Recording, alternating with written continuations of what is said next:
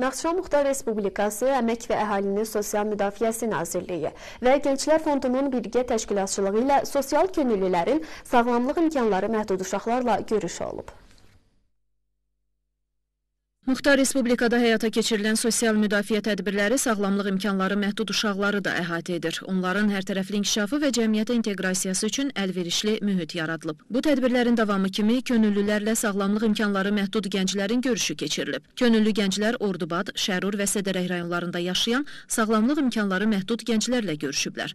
Keçirilən görüşün əsas məqsədi xüsusi kateqoriyadan olan gənclərin vaxtının mənalı təşkili və könüllülərin iştirakı ilə onlara hədiyyələrin aparılması olub olub. Gənclər birgə vaxt keçirib, eyni zamanda sağlamlıq imkanları məhdud gənclərin gündəlik məşğuliyyətləri, yaradıcılıqları ilə tanış olublar. Bu gün biz gənclərin təşəbbüsü ilə Naxçıvan Muxtar Respublikası Gənclər Fondu və Əmək və Əhalinin Sosial Müdafiəsi Nazirliyinin birgə təşkilatçılığı ilə ə, könüllü gənclərlə sağlamlıq imkanları məhdud gənclərin görüşünü keçirdik və gənclər ə, aldıqları hədiyyələri onlara təqdim etdilər. Onlarla ə, gözəl vaxt keçirdilər.